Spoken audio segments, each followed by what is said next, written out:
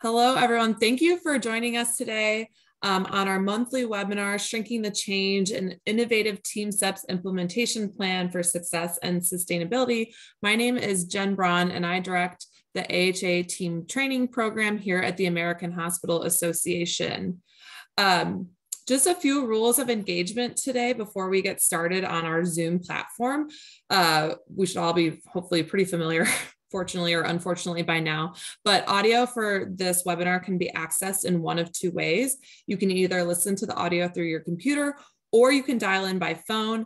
Um, if you toggle to the bottom of your toolbar, uh, you should be able to switch between one or the other, but please know that you're in a listen only mode. Um, Q&A today will be held at the end. Uh, so we encourage you to submit any questions for our speaker, Stacy, today. Uh, I'll save them for the end and we'll do a moderated Q&A. But if you have any logistical questions, um, please chat them in. We'll respond in real time or just certainly any comments that you have. Um, our chat is typically pretty active throughout this webinar. Um, a few other notes here. This webinar is being recorded and will be made available uh, on our website after uh, today's webinar. Uh, and you please note that the chat will not be included in the recording. Um, and then just a note too that you can chat everyone uh, where it says that to box, or you can chat um, just to speakers and panelists. Oopsies. Let me go back there. Um, we are happy to offer continuing education for today's uh, webinar free of charge. Um, if you uh, are new to us, you have to create a Duke OneLink account. This is a one-time only setup. Um, and my uh, colleague Kara will chat in those instructions uh, uh, throughout the webinar, uh, but you should also be able to refer to it in your confirmation email. Uh, but essentially at the end of today's webinar, what you're gonna need to do is text that code J-A-D-B-U-S to the number you see there after the webinar is over. Don't worry, we will show this uh, this uh, code and phone number again at the end of today's webinar. Um, a few upcoming events. Uh, we're really excited to have our in-person TeamSTEPPS Master training courses back in action. Uh, so we hope that uh, if you're interested, especially this is a great uh, tee up with Stacy's presentation. If you're new to TeamSTEPPS and you want to become a master trainer, we have in-person courses at several sites across the country uh, through the remainder of the year. We also have virtual options as well, and we will continue offering those. Um, I want to call out, we have a four-week uh, virtual workshop on managing conflict in healthcare uh, that begins in September. Uh, we also uh, will continue to offer a virtual master training course. And then finally, we have uh, what we're calling our TeamSTEPPS for change leaders and champions. This is a really great course for those who've been exposed or had previous TeamSTEPPS training that either need a refresher and need maybe a little additional help with implementation and sustainment. Uh, so registration is currently underway for everything Team rates are available if you have teams, which we highly encourage. Uh, so you can click on the on the hyperlinks; they should be live. Kara can also chat them in. Um, and then finally, we have next month our monthly webinar on August 10th on healthy aging, creating age-friendly health systems. So feel free to join us for that. Um, finally, AHA team training offers custom on-site training. So if you're a hospital or organization looking to train a larger volume of staff, we can come to you in person or create a custom virtual uh, course. We also can provide long-term um, engagements to help build capacity within your organization. And therefore we continue to help implement and um, you sustain that. Um, so if you're interested, feel free to fill out our custom training request form and a team member will be in touch to provide more information there. Um, so that's enough of me. Um, I'm really excited uh, for you all to uh, uh, get to meet and hear from our, our speaker, Stacy. Um, I met Stacy this past March at a conference. She's phenomenal. She's worked with some of our faculty that have been involved in TeamSTEPPS for a number of years. So I'm going to let Stacy say a little bit more about herself and let her take this over. So Stacy, all you. Thank you, Jen. And yeah, some great opportunities coming up from AHA, and it's good to see that we're back in person. Very exciting stuff. So, um, I am Stacy DeMaranville. I am currently the Pierce Region Nursing Director for Family and Midwifery Birthing Centers um, at St. Joseph's Medical Center and St. Elizabeth's Hospital in the Tacoma area of Washington. And that's um, part of our Virginia Mason Franciscan Health team. Um, but the work that I'm going to be talking about here actually occurred um, at a hospital that I um, was privileged to be part of. So I'll talk a little bit more about them in just a minute. So today's objectives real quick, we're going to start um, with identifying innovative and interactive training models um, for an interprofessional team. We're going to discuss at quite a bit um, about how to use that 30, 60, 90 day plan to develop an effective way to address resistance and create an alignment when you're implementing TeamSTEPPS and then focus a little on frontline ownership and how integral it is to su the success of your TeamSTEPPS um, implementation plan. So I wanna start with um, kind of get to know you guys a little bit. So we're gonna go with a poll here and I want to learn just a little bit about what is your experience with TeamSTEPPS? Are you a first time learner, haven't heard anything, really excited to be here and get some info, some basic knowledge of what TeamSTEPPS is, but definitely are looking to learn more? Um, maybe you've attended some TeamSTEPPS training already, or you've already implemented or are in the process of implementing and hoping for some just new wins out there. So if we could go ahead and get you guys to respond in, we'll see what we've got.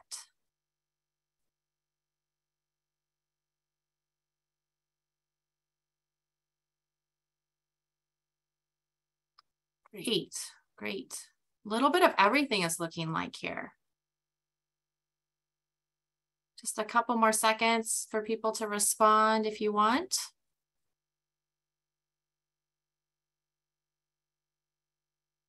Well, the good news is, regardless of what your knowledge level is and what you've um, experienced with TeamSTEPPS, we're going to cover um, a variety of topics that should be able to add to your current knowledge or it reinvigorate your passion for TeamSTEPPS. Um, and then I want to go on to one more poll to find out if you're ready to implement or will be implementing here in the future, what would your role be in TeamSTEPPS? Are you going to consider yourself an executive sponsor or senior leadership, um, ensuring that all the resources are there? Are you more on a project manager or project leader um, point person where you're going to be ensuring that everything is handled on the step by steps? Uh, maybe you'll be part of a change team. That's the boots on the ground, the planning, the implementing, the teaching portion. Or are you a frontline champion? You love this work and you want to just really keep it going on a day to day basis.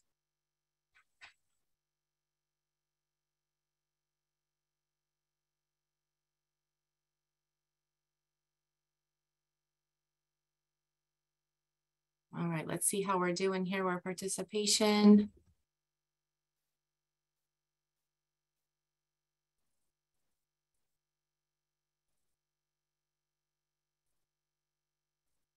There we go. So a lot of us are ready to be part of a change team, um, which is great. I really am going to focus quite a bit on that portion. Um, and then project manager, that's what I was um, in our implementation at Valley. And so we will touch on what does it look like when you're the executive sponsor or frontline champion, but I think you guys are all in the right spot. So um, let's dive into a little bit more about us. So this was done um, at the University of Washington Valley Medical Center, which is in Renton, Washington. Um, it's a public district hospital and it's affiliated with the University of Washington.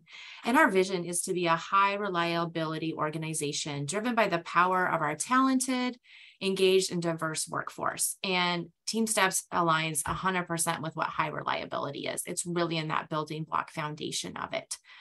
Um, we are a high risk delivery facility doing about 3,000 births in 21. We have a level three NICU um, that's supported by the amazing team at Seattle Children's Hospital. Um, and we also have an inpatient pediatric program there. Um, we have a variety of practitioners. Here's a couple, um, our medical director and some frontline OBGYN providers who are also part of our change team. Um, we have midwifery, family practice supporting a residency, and anesthesia. So a wide variety of mix of practitioners that we needed to include in our plans. Um, and then integral was this amazing leadership team of nurses. Uh, these are the managers and assistant nurse managers for family birth, pediatrics, and NICU. And they were also part of that change team, helping to engage and teach and support and champion. Um, and that is Noelle in the middle. She is our mascot through COVID um, and was a great part of our fun that we would add to our day. Um, they support about 200 uh, staff members through this process, everything from a frontline secretary to our lactation consultants, our RNs, LPNs, um, so just a variety of team members.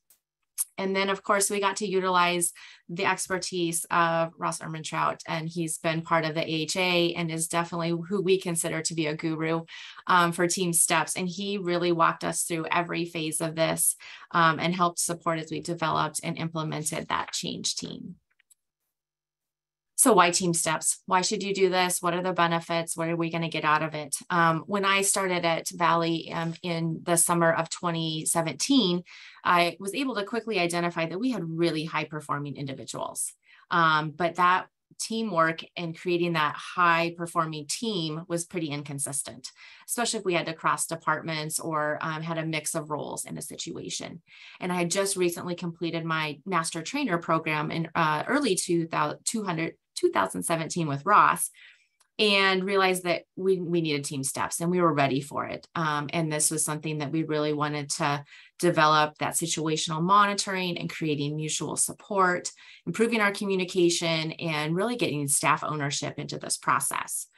Um, and so we presented that to our senior leadership team, and it fit right in with that high reliability journey that we were going on. And so we were able to become the pilot division um, for this TeamSTEPPS program. And so we went straight into action and created our next steps. So for those that are really new to TeamSTEPPS, we'll start with what is this program that we're talking about. And TeamSTEPPS stands for Team Strategies and Tools to Enhance Performance and Patient Safety. Very long name, which is why we've always called it TeamSTEPPS.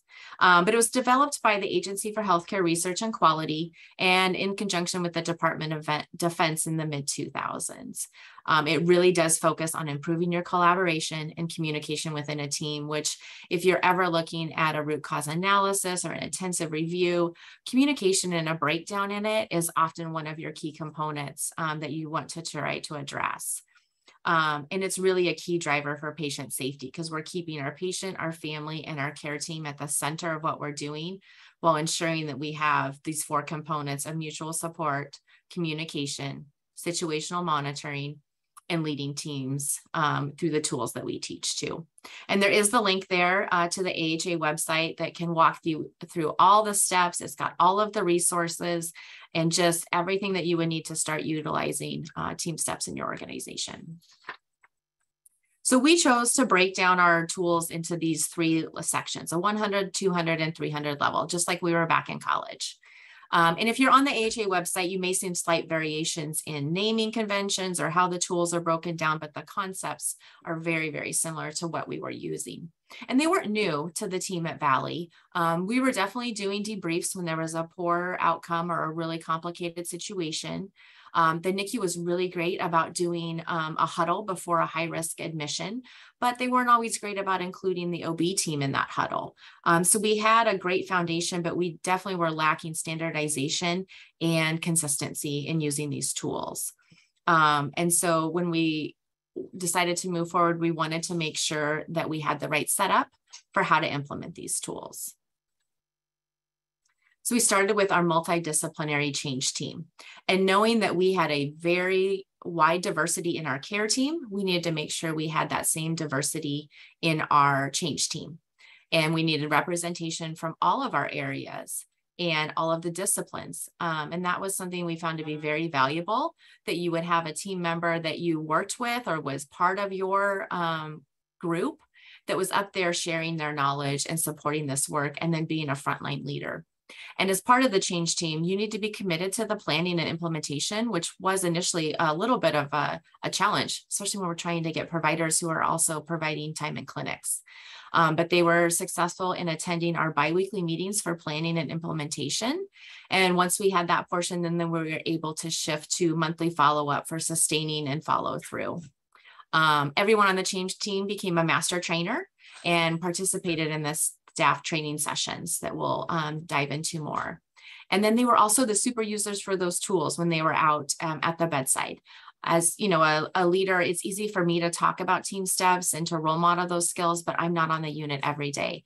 And members of our change team were and it was phenomenal to see them just take that and run with it and then we made sure that we were utilizing this 30 60 90 day plan because really when you think about TeamSTEPPS it's a massive project um, and the concepts and the steps can just be really overwhelming and so we broke it down into 30, 60, 90 day plans in order to track our progress and to quickly identify if we needed additional support and who was responsible for each of those items.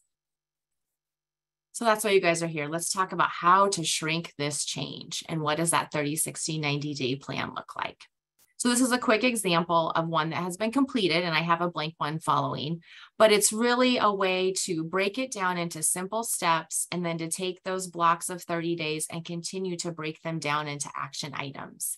Um, and for me as the, the project leader, it helped me to ensure that I had accountability. I knew who to follow up with. Uh, team members could access this at any time to check in on what they were responsible for. Um, and I'm very visual. So I also use the color coding. And this is one that's been completed. So we see everything that's in green. But as we were working through each one of our meetings, um, if we were stuck on something, it was red and we needed help and we wanted to talk about that as a team. If it was work in progress and we just needed an update, we had color coded it orange. But for this one, hey, it's easy to see. Everything's green. We're good to go. And those were um, reviewed as our monthly meetings and updates. So here's one of the blank tools, and let's walk through each one of those sections. So specifically, we're going to start with what is the problem or challenge that we are trying to identify and improve with TeamSTEPPS.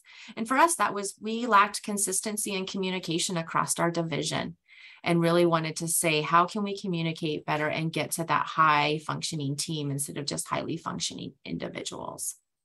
And the next step is to create your destination postcard. What does that look like when you are done? And what are you going to do to get to that um, goal of improving communication? And we started with we need to implement these 100 level tools and create a foundation for our teams.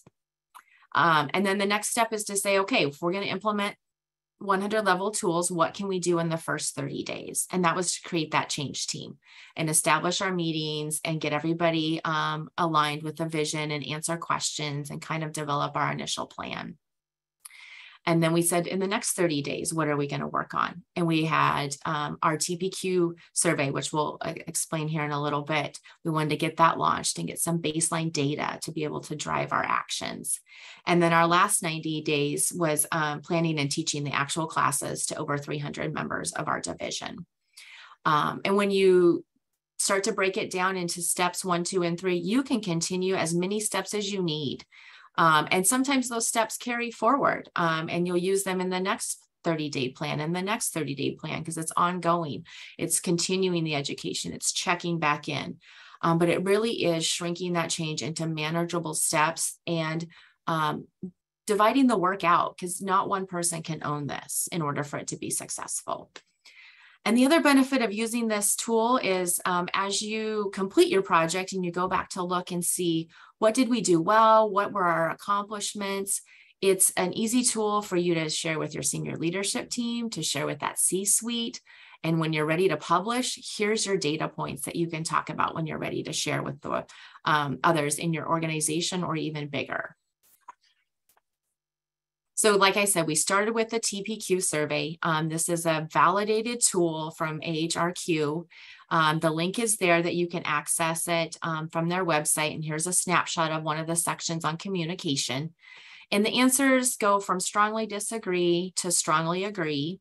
And we set this up in an online format um, so we could allow staff members to easily access it and we could monitor response rates and give prompts out if we needed. Um, and the one thing that we found to be really successful is that it wasn't just going to come from me as the sponsor of the project or even from um, our C suite. It was coming from the direct manager or OB chief or group leader.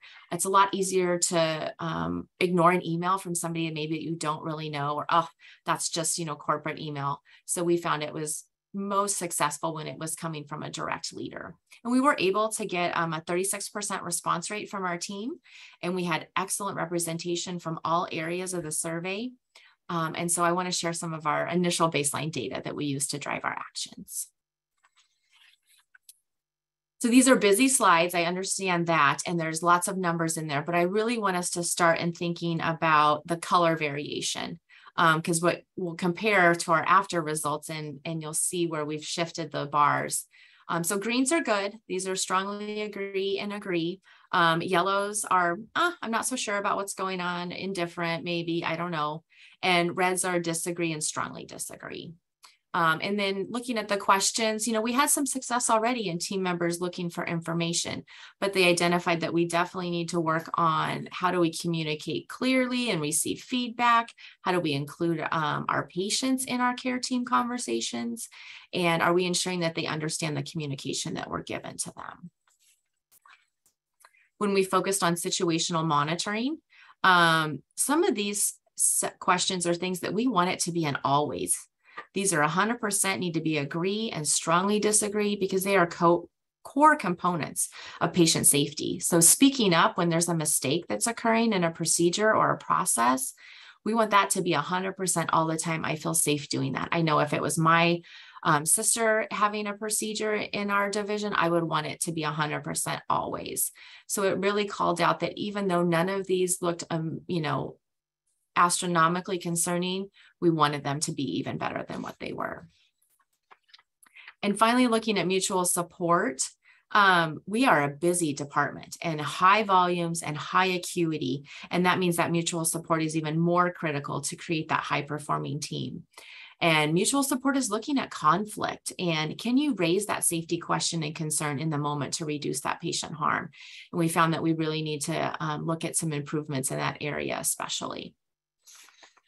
So we went back and took that data and put it into a 30, 60, 90 day plan. We focused on 100 and 200 level steps. We decided after getting these results that we could definitely look at both levels.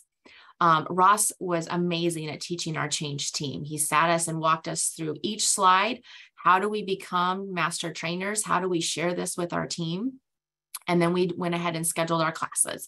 Because of the size of the group that we were trying to address, we needed about 10 classes um, with the Lego exercises that we're going to utilize to um, drive home and solidify those skills, you need at least 12 people in a class and a, any more than 25, and it gets to be too large. So we definitely needed to monitor our space. Um, we made sure we had dyad teaching partners. So it wasn't nurse to nurse if we could. We wanted that nurse doctor, um, nursing director to frontline staff member, really creating that um, alignment. And one of the TeamSTEPPS keys is saying, everybody in the room has a voice, regardless of what your title is. And so we wanted to role model that from the beginning. Um, and we made sure when people participated that you didn't just get to sit at your table with the team from the NICU, um, that you had to have a little mixing things up and ensuring that there was representation from as many um, departments and roles as we could, because that's another thing in the team building that we found was critical. So we always said it's going to be a great class because you get to come play with Legos. And they truly believe that and um, came with open arms and excited brains. And so we set each one up to be a two hour session, but most of them ended up being about just 90 minutes. Um, our agenda said, let's, you know, start with what is TeamSTEPPS and walk through each of these core tools. Um, we integrated three different team tower exercises with the Legos where they were utilizing some of the skills that they didn't know that they were learning, but they really were um, and learned each time. And then we also talked about our results, where we started, where we wanted to go, and how we were going to implement that plan. Um, and we had really, really great success with this. 94% of the inpatient uh, women and children staff attended, 88% of our physician um, partners were able to attend, which is huge.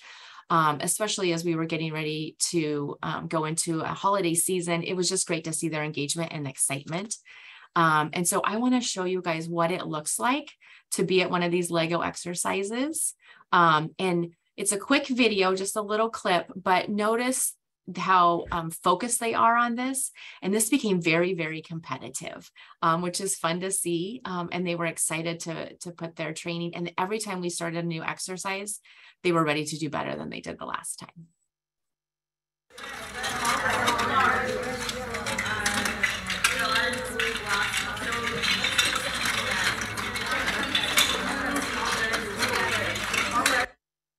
So it's just a quick snap of what does it look like to be um, participating in the Legos.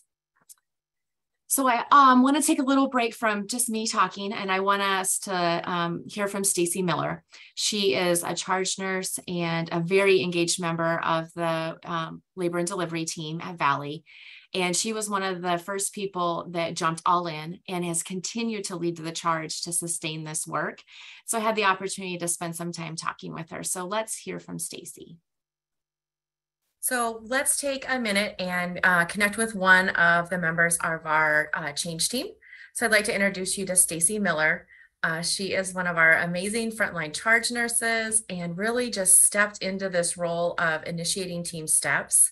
And so I just wanted to have a conversation with you, Stacy, about what it was like um, as a nurse and as somebody who was like really an early adopter in this um, crazy journey that I asked everybody to go along me with me on.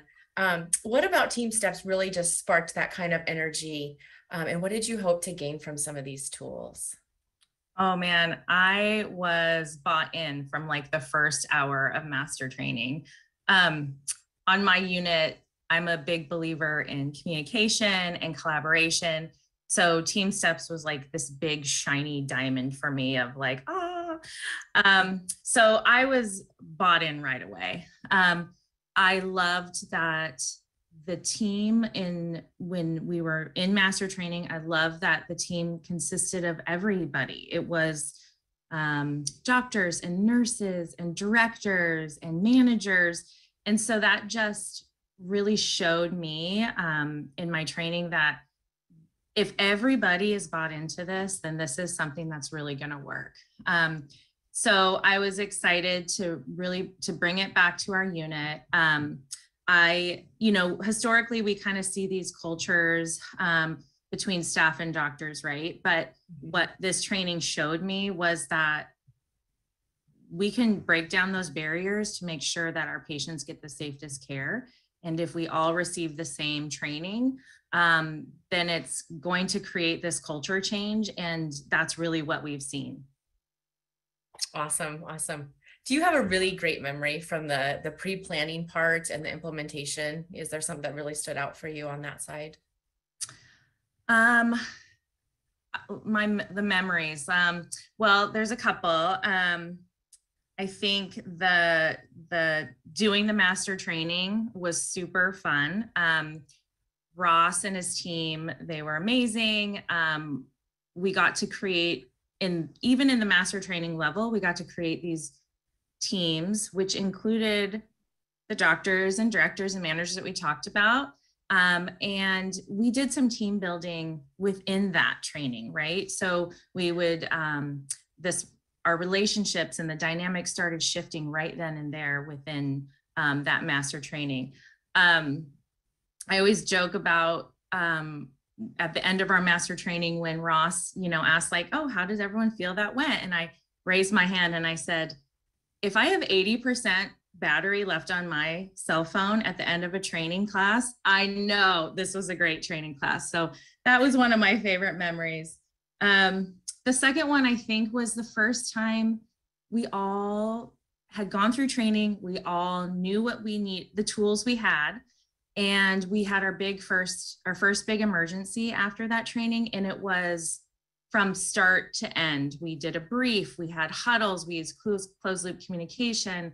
Afterwards we did a debrief and then we sat there and we were like oh my gosh this works. I mean it was a moment of this is real and that just makes my heart so happy to hear that because as a director and as somebody who was spearheading this, I wasn't able to see those uh, moments where it all just went the way it was supposed to. And mm-hmm. people could say, oh, it's not a flavor of the month.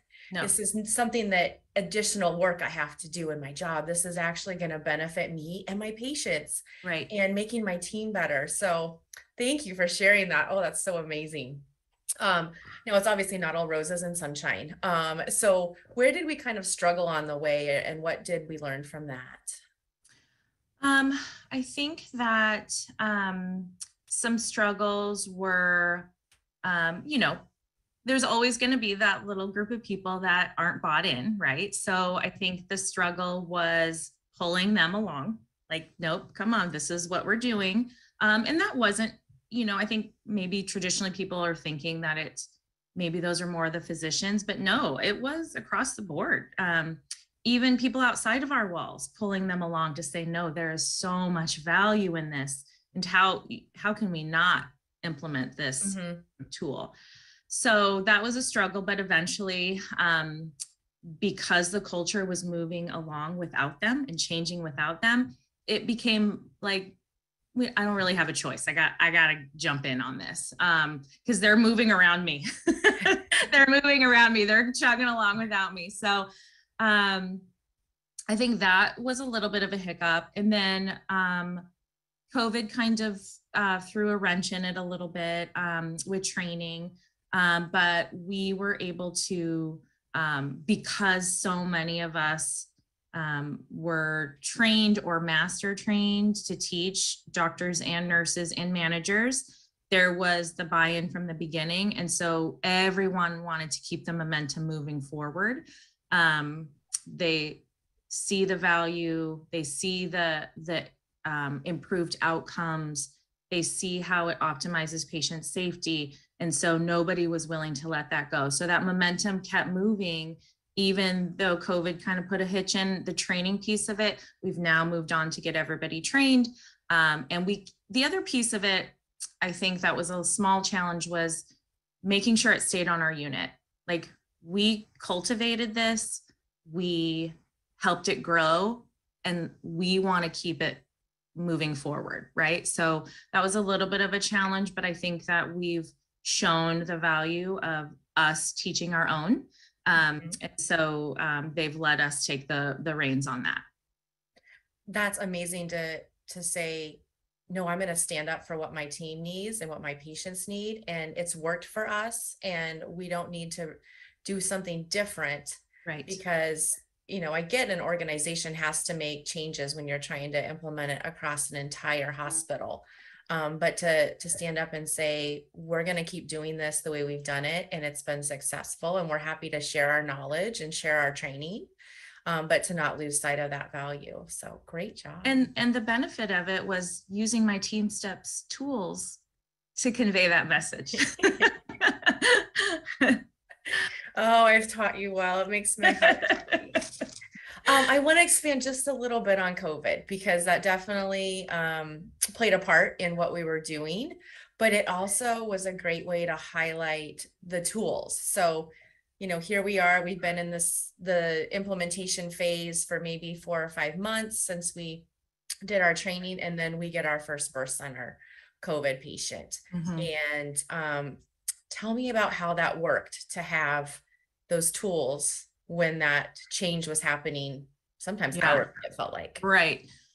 I mean, it did, COVID was obviously uh, an unexpected um, crisis. Um, and we, um, things were changing hourly in those first couple months. And so um, having these tools in in that period of time was um, it was detrimental. I mean, we needed to be able to have a way to um, be on the same page, have that shared mental model, and move forward. So um, there were, gosh, we would use the briefs, the huddle, and the debriefs almost daily, um, uh, probably daily, actually, now that I think back on it, because so many things were changing or we were learning things. After every case we were learning something new so we would debrief about it and then um, the next patient would come in and then we would have a brief before we went into the room about what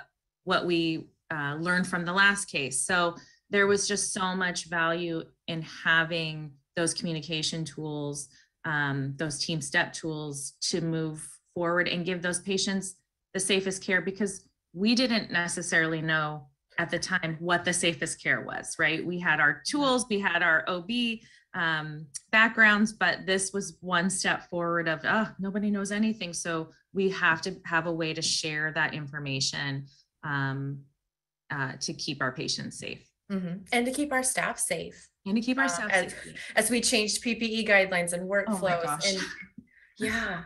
Well, and my perspective being in incident command and being out of the unit and trying to help facilitate the big picture was I was hearing the stories from ICU and ER who were equally as inundated, if not a hundred times worse than where we were at O in OB at that time. But to see them struggle more and to not be able to communicate that to their team succinctly and to learn from each case in a method that then protected the absolute next patient that walked in the door. Um, it was just validating again to know that my division's got it. We're good. I can Yeah. put my energy, um, you know, into the system and into the hospital, knowing that Oh, sorry. Let's try that again.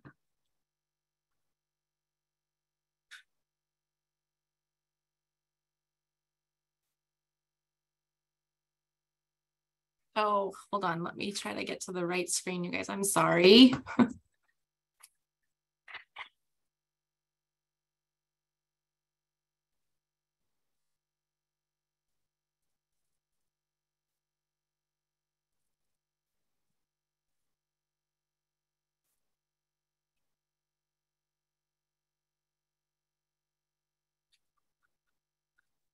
Technical difficulties. Okay.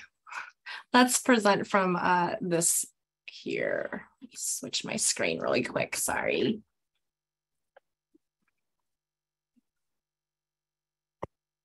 Okay. Always something.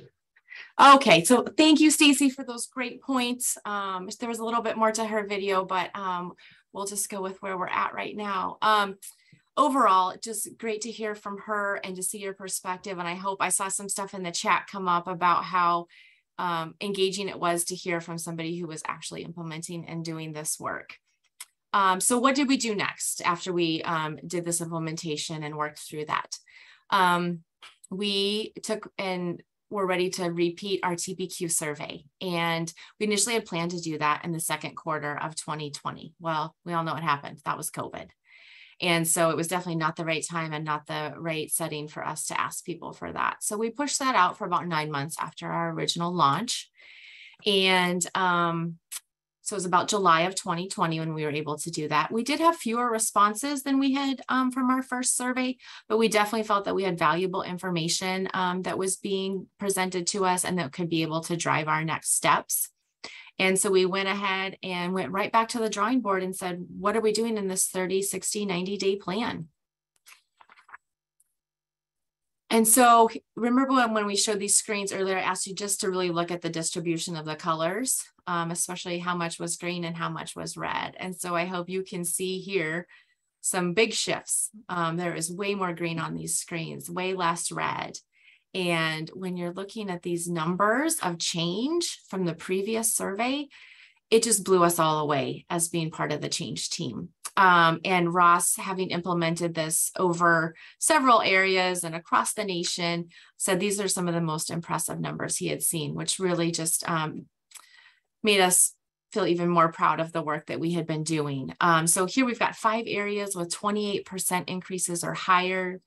Um, some of these areas have no people disagreeing or one or two people disagreeing with the comments. So just showing that creating that foundation for effective communication with the TeamSTEPPS tools was working. When we looked at situational monitoring, we also had the same improvements in some of our areas. Um, here we see four different areas that have no disagree um, which is just amazing. And two areas that had a single response that disagreed with it. So, again, creating that awareness of what is going on around me and how do I affect my team members and how do they affect me um, was evident. Now, we do see some drops, and those are some things that we um, expect in a certain sense, because as we look here at mutual support, we have a different understanding of what does right look like. We may have thought we were able to be resolving conflicts successfully um, and not making it personal, but when we actually learned how to do that well, um, we weren't doing a good job initially. And so that was identified as, hey, this is something we got to focus on for the next round. Um, but still saw an improvement when we were talking about patient safety and challenging others if you don't feel that you're being heard. Um, so we went right back and said, hey, let's break it down. Let's shrink that change one more time in a 30, 60, 90 day plan. Um, and so we decided we have to get back to the basics. And we had new members that had onboarded, new providers that had come into the system. And so we went ahead and said, we got to teach another basic class of the 100 and 200. And we really fought hard to make sure that that was taught by our change team, as Stacy alluded to, that we needed to do the, the work to say, no, it's more valuable when we teach. Um, and we were able to fight for in-person Lego education, even with COVID. We had sanitation protocols for the blocks and all of that stuff because it drove home um, how you can use these tools, even in a small thing as building a tower with Legos. Um, and we now have an implementation plan for sustaining that, um, whether it needs to be every quarter or if it needs to be uh, twice a year in order to ensure that new hires to our division are getting that same basic training because it's part of the culture. And we want you to start off on the right foot. And then we decided with the changes that we had seen and concerns about mutual support um, that we needed that 300 level class that really talked about CUS and two challenge rule and how do we support conflict management. And so we did a hybrid class for this one. We had some in-person learnings already established for our family birth center team.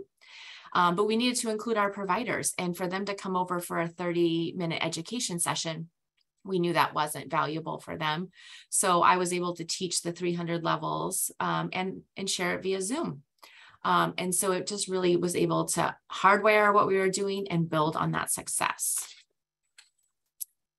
so of course we always have things we learn from stuff that, yeah, just didn't work out the way that we hoped to. And so one of those was we actually made a true destination postcard. Um, we said where we were going and what we wanted to do, had a whimsical picture on it, you know, to be exciting and fun. And we mailed it to the homes for the inpatient team members of women and children's. And a handful of people thought they were cute. We got some pretty good comments about um, how we may not be using our resources efficiently. And so uh, something we probably wouldn't do again if we went big picture implementation. Um, the picture here of all the tools um, on the training card was excellent to use and staff loved having that quick resource. And on the backside, we had created a bingo game. And so if I participated in a huddle for the day, anybody else that was at that huddle could push, put their initials in there real quickly. And as soon as I had my card filled, I could turn it into my leader and get a coffee card and grab a drink on us at the coffee shop. Um, I think we had maybe five people turn in coffee cards. So I think it was just something that was another step that they were using the tools, they knew they were using them, but we couldn't get them to fill the cards out for prizes. Um, we also wanted to, you know, create a space in each unit where we were talking about TeamSTEPPS, where we could highlight a tool um, of the month. We could send out kudos for people that had used the tools successfully. Um, and so we set up one of those in the NICU in pediatrics and in family birth. Our challenge was real estate, and we didn't have a great location for those to where it was part of our morning brief that we could look at those. It was easy to access and quick to reference. They were all in separate spaces. Um, so I think if when we do this again, I would encourage you to implement it in whatever you're doing for your morning huddle or your shift huddle um, create it in a space that you're already existing um, where the teams look at quality data and important updates. And then as Stacey had kind of referenced, and we talked a little bit more in our discussion, taking this from women and children's and expanding it out into the entire hospital. Um, we had a plan set up and COVID changed those things. And the um, organization wanted to go in a direction of it being taught by somebody who wasn't part of the team, somebody who wasn't a frontline clinician. Um, and that it wasn't always involving the people that you work with on a daily basis. And we had seen so much value in that and knew that was part of those amazing and impressive results that we had that um, we fought really hard to continue those things. And Stacy and the leaders that are there still at Valley are continuing to do that to say, no, we want to have um, our staff teach this. So it's just something to consider as you look at that sustaining plan because culture change is a three to five year event, if not more sometimes, especially with the rapid change that we've all had to endure. So how are you going to keep that going and, and build on your wins?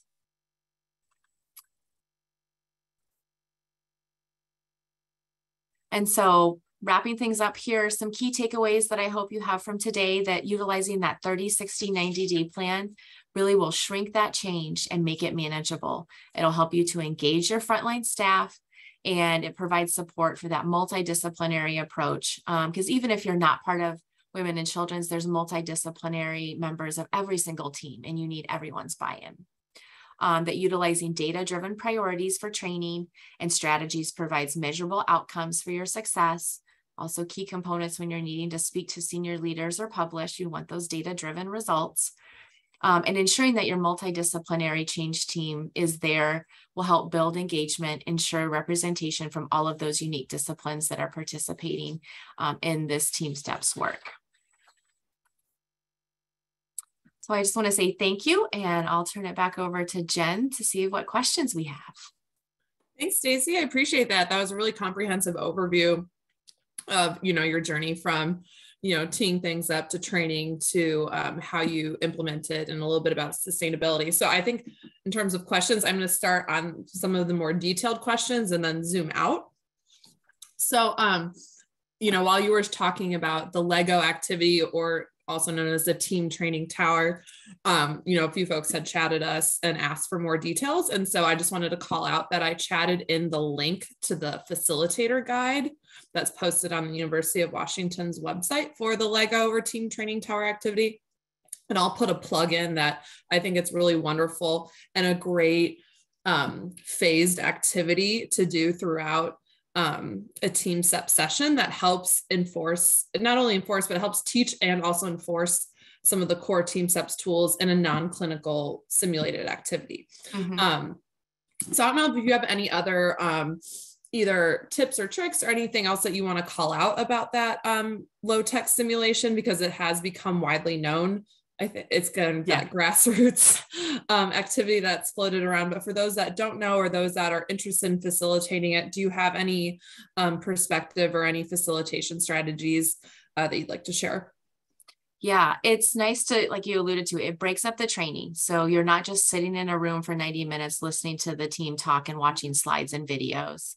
Um, and so you start with some basic um, 100 level tools, and then you'll initiate the first tower exercise. And it's a blind exercise. And for a lot of type A personalities, they get stressed out just about that and not knowing what they're supposed to do and the panic and it's timed. And um, I think knowing as a facilitator, some of the ground rules will be key when you review those um, instructions.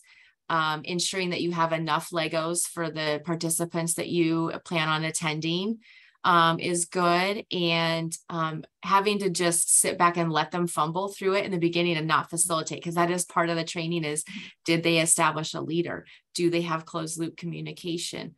Are they utilizing um, a, a, facilitator to time it? Because time is a huge component in the exercise.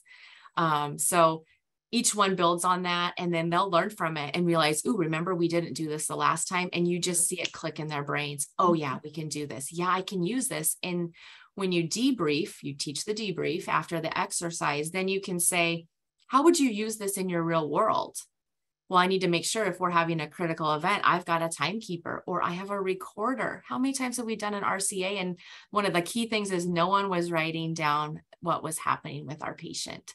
Um, so just solidifies all of those things with Legos of all things. Mm-hmm. So yes, kudos to the University of Washington team for uh, the Ground Roots Up awesome event. Yeah, and, and I will say the debrief portion is the most critical part of that activity. Yes, they mm-hmm. do an activity, they build a tower, but it's really the facilitated debrief that you can, as a as a faculty or facilitator, you can reinforce some of those tools or reinforce some of those concepts during that debrief. And again, just another you know plug for it. I really like using this activity because sometimes when you do a clinical simulation when you're trying to teach TeamSTEPPS tools um, the participants get so focused on some of the um, clinical care of that simulation and not the team performance and so by kind of cutting out the clinical piece um, you're really having everyone at a very baseline level in this non-clinical um, mm-hmm. simulation. So um, yeah, we've been using this um, activity in this simulation for a number of years. So it's really helpful to um, to, to run this. Um, moving on and kind of expanding out just a little bit more. Um, how did you determine or do you recall the decision making on how to determine the 90 minute or two hour sessions like how did you come to that decision for that length of time uh, it was based on the content we were trying to present mm-hmm. um, and ross's expertise he has usually implemented this in the past and said you know start with that two hour window it mm-hmm. probably won't run that long and each individual presenters you know it depends how much robust discussion you get into it right. too if you've got a really chatty engaged team and a mix of people that have used TeamSTEPPS in the past and new people that are willing to share and learn um, you can get some really great conversations going. Um, I don't know if you could do it much shorter than 90 minutes because mm-hmm. of the mm-hmm. amount of content that we chose to share, at least mm-hmm. with the videos, because um, that really just adds some fun to the training. Um, and then mm-hmm. being able to do the facilitated Lego exercise, team tower training exercises takes some time. Right. And, and yeah, for that 90 to 90 minute to two hour session, you guys were just focusing on what you felt were some of the core TeamSTEPPS tools out of the larger toolbox, right? Mm-hmm. Yeah. Yeah. So if you have less time available, you could break it down into smaller sessions. Mm-hmm. Uh, yeah. The facilitator's guide and the team training tower um, activity is really helpful because I believe it's broken down by what tools you can teach in what round of Legos. Um, so again, that's a really good training guide that, you know, feel free to those on this webinar to use. No need to reinvent the wheel, but we also suggest customizing to fit your needs. Mm-hmm. Um, so um, also kind of along the lines of training, um, I'm just looking at the question here. Um, as you rolled it out, how did you um, decide to roll it out, like compared to doing it in one big bang for everyone or department by department? Can you talk about that decision making in that process? Uh, so it was a little bit of both. When you looked at Valley as a hospital, we chose to go department by department. Um, and part of it was I had already implemented and been part of a process at another facility. And so had the background of it works best when you train as a team because you're learning to be a better team. Mm-hmm. Um, and so we chose to pilot it, to work through all the kinks, to figure out what worked with scheduling and some of that um, you know project management stuff mm-hmm. um, and I, I do encourage if it is possible to go team by team because the building that you get in just your class time um, is insurmountable and something that Stacy talked about that didn't make it in that video. I'm so sorry we had that challenge. Mm-hmm. Um, she talks about training with a provider and learning that I can now have a different relationship on the floor with that provider because we went through this together. We learned the same tools, and I can now approach a very seasoned, experienced, respected provider and have an honest conversation and use the tools. And it was never meant to say you're a bad clinician or I'm right, you're wrong, but it was let's just have a conversation. And it was so impactful and to create those bonds because we taught together as a team and we trained together mm-hmm. as a team. So if you can do that, I would highly, highly encourage to do that. Now I know as you get bigger um, organizations or you're looking at sustaining, you may not have the right um, amount of people to do that training. So it changes a little bit. But if you're mm-hmm. going for let's get this all together, all on the same page, um, unit by unit would be my recommendation. Yeah, and I would say from from my perspective, working with you know dozens and dozens of hospitals over the years, I think that typically is is the route that most take or doing it by service line.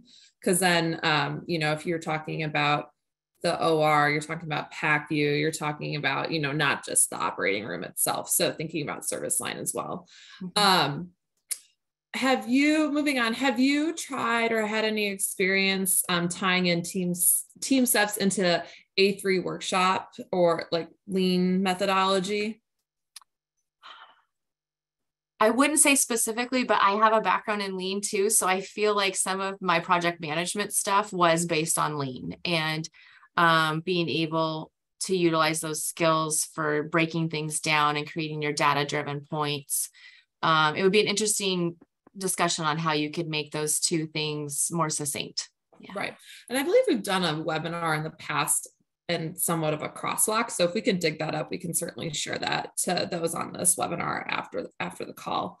Um, and then kind of moving on into a bit more of the sustainability piece, but can you share more details or specific strategies on what helped you sustain some of the gains you made? Mm-hmm. Um, calling out when something went really well at multiple levels. So anytime we had a staff meeting, a charge nurse meeting, a provider meeting, we did a quality report out. Um, for those first two years, we were having a team step slide. So, mm-hmm. hey, here's a great catch that happened because we did a brief.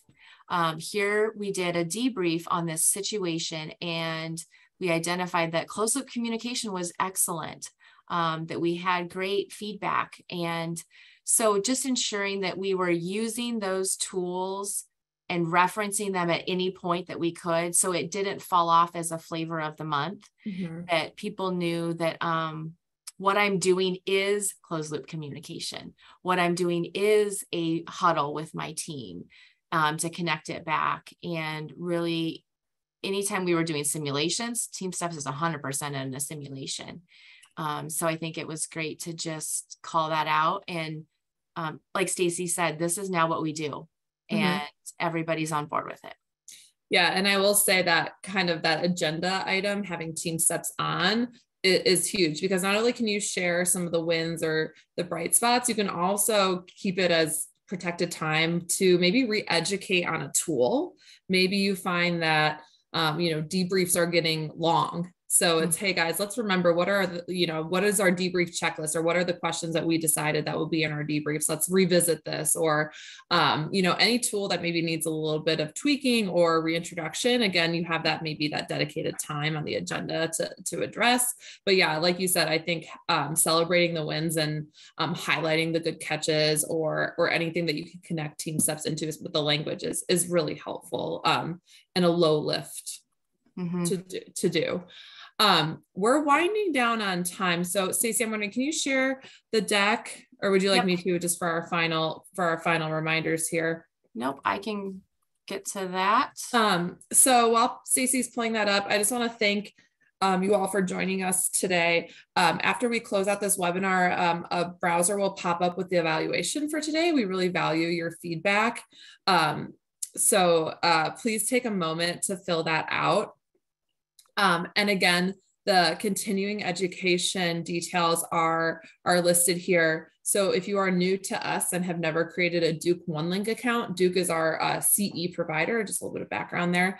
Uh, you'll need to create a one-time account um, and then you'll be good forever. Um, so, but after today's webinar, you're going to need to text that code to that number there within 24 hours to claim your credit. So just a little bit of housekeeping to close out today. Um, but again, I just really want to thank Stacy for her wonderful presentation um, and the great work and the progress that she's made with TeamSTEPPS.